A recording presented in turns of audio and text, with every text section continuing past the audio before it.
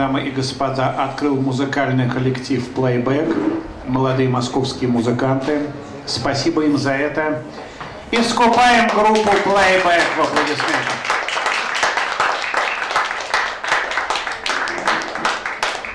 На правах хозяина проекта «Бой поэтов» я, Николай Костромитин, приглашаю на эту сцену замечательного московского поэта, представителя литературного объединения «Московские окна».